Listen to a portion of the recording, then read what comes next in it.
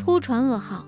据港媒最新报道，香港知名导演、主持人及资深媒体人林超荣近期离世，享年六十一岁。林超荣近年来一直饱受血癌困扰，但由于他平时比较低调，许多圈内朋友并不知情。这一突如其来的消息令外界感到震惊。入院多时的林超荣，临终前身体相当虚弱，未能言语，手脚也不能活动自如。所有亲属收到消息后，纷纷赶往医院见最后一面。而太太屈颖妍及三名女儿一直守在床边，陪他走过最后的岁月。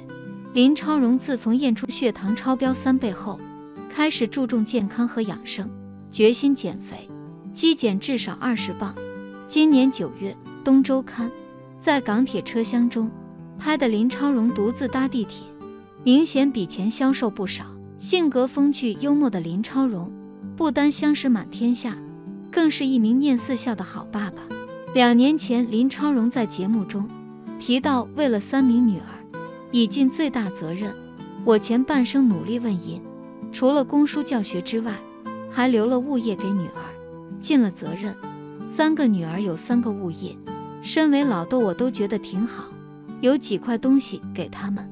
他更笑言，责任完成后是时候花天酒地。我本身打算搞定了三个物业，就去一个地方花天酒地。年轻时做过，但不过瘾嘛。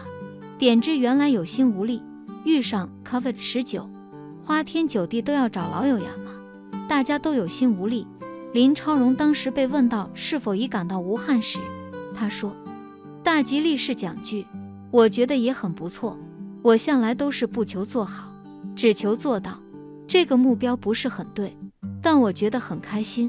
我人生目标就是想拍戏、做导演、做节目主持、编剧、监制，现在做抠，都很幸运做到了。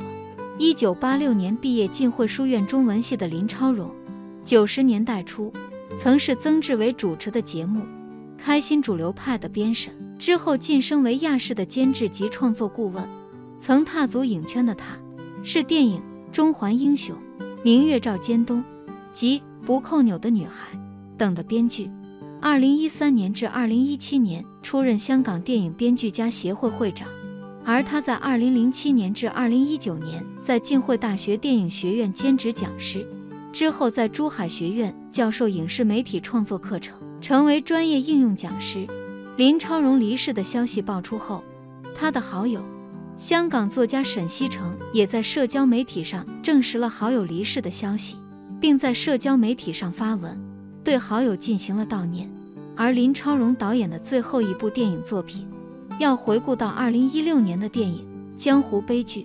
这部电影口碑并不佳，在网上的评分只有三零分。当时播出后。引发了不少争议。林超荣可以说是香港娱乐圈的一名才子，也是一名全能选手。他无论是导演、主持，还是编剧和创作，他都能胜任。在很多朋友眼中，林超荣为人幽默风趣，平时也很喜欢扮鬼马，是大家心中的开心果。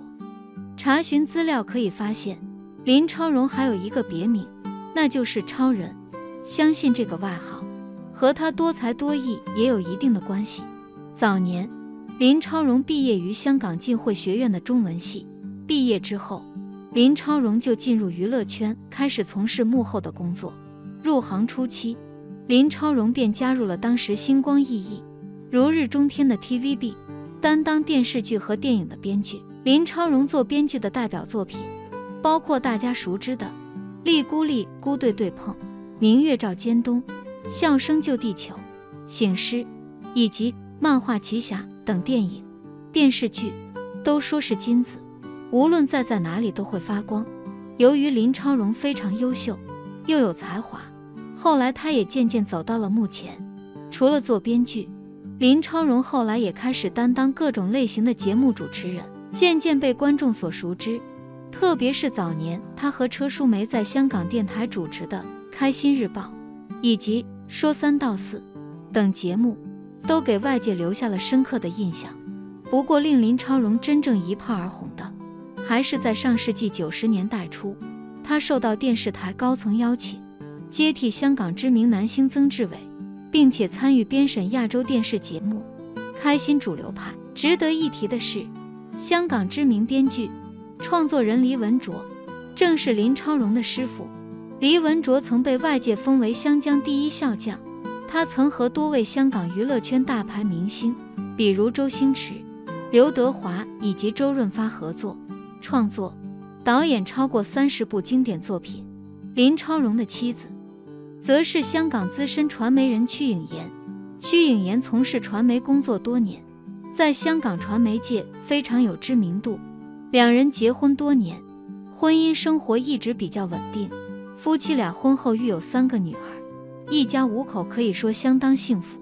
两年前，林超荣为。梦飞行拉拉杂杂担任主持，跟陈淑兰、兰子、梁荣忠及经理人康利推出节目。当时他已有感而发，指去年突然失去很多老朋友，令他有了危机感。细想自己在临终前有什么事情希望做到，不想过身时有遗憾，更笑指以后不要写剧本，写平安纸。当时兰子则安慰他应该及时行乐，怀住听日就走的心情。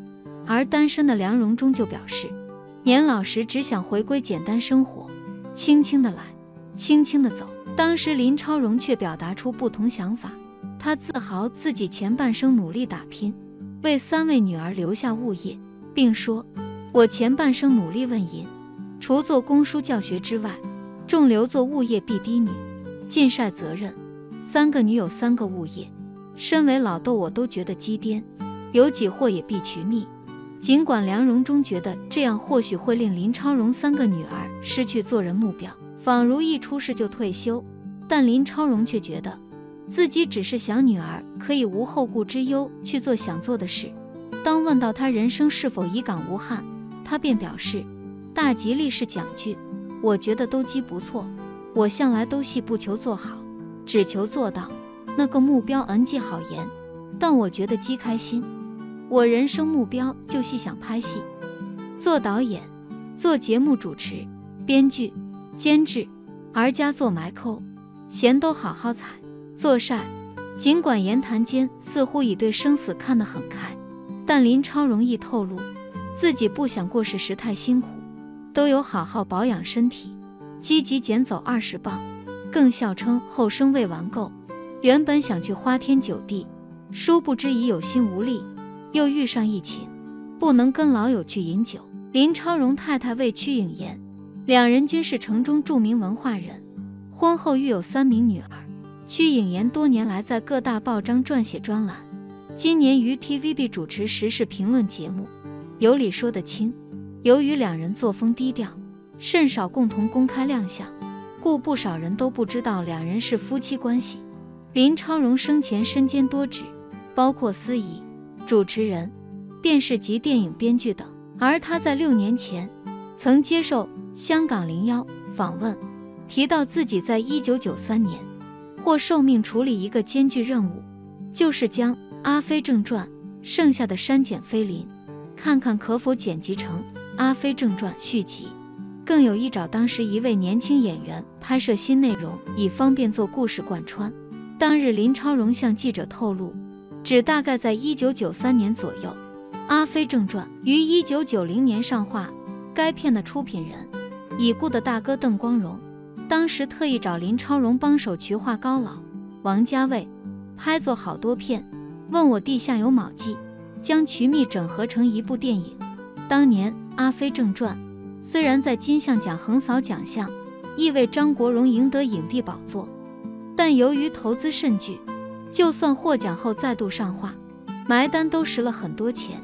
于是邓光荣想到，当日王家卫拍了一百万尺菲林，平常一部电影为五十至六十万尺，于是想找林超荣看看，可否从中剪辑成一部新戏，成为续集。林超荣艺术当年大哥提议找位年轻演员，加上原有的素材把它埋尾，重新包装成另一套电影。例如当年在电视台刚走红的曹永廉，但那只是个很初步概念，并冇什么剧本。林超荣当时艺术存放这一百万尺菲林，仿如走进一个密室寻宝一样。后来大哥叫导演肖荣带我到一间太子道的剪片室。九十年代有很多电影公司都堆在那儿，例如吴宇森的工作室。上到去好似货仓，拉开一道木门，肖抛下一句说：“这里全部飞林都是。”旁边还有部剪接机。结果林超荣便成为圈中少有能看到《阿飞正传》删减片段的人，而他花了不少时间。最终一直看了其中的三分之一，可惜结论是无能为力。那些片段很多都是 NG 片或者分镜，之后跟大哥说用不到，最终搁置了计划。亦因为计划告吹，张国荣成为香港电影史上唯一的阿飞，未有让曹永廉继承。